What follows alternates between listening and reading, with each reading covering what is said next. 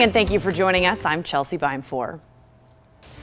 This afternoon, two fires burned almost simultaneously in different parts of Macon. On Brenda Drive, several vehicles went up in flames behind a house. Chief Timmy Johnson says a man was doing yard work and started burning debris when the fire ran back into an abandoned home's yard next door.